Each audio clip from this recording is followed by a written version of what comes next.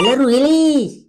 Hace rato que hablamos. Pues hermano, todo al revés. Todo el mundo se lleva las palmas de la lucha contra la delincuencia, menos uno.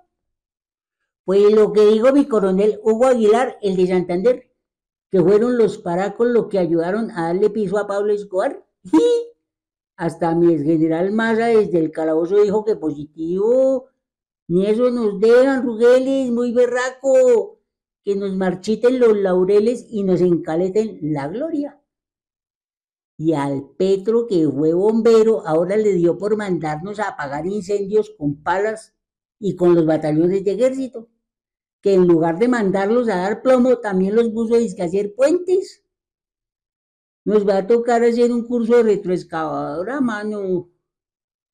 Se quejan de que los asaltos y los fleteos y uno por allá en la loma violando tierra en lugar de estar dándole plomo acá a los que no cancelen el CBY. ¿Cómo voy yo?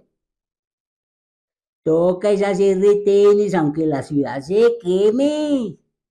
Y además es un atentado ambiental contra lo de uno. En esa vaina forestal, ¿de dónde va a sacar uno lo de la tajada?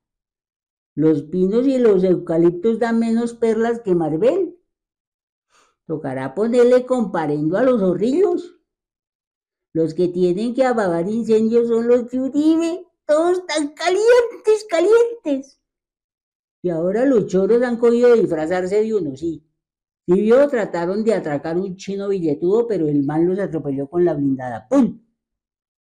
Bueno, chao, Rugeles. Oiga, ¿será que ahora con lo de Petro arreglar las vías férreas ¿Puedo coger el tren de Aragua que va para el Golfo? Y chao.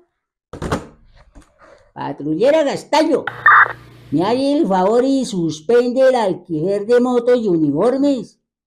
Eso no alcanza ni para remendar la reputación. Café picante.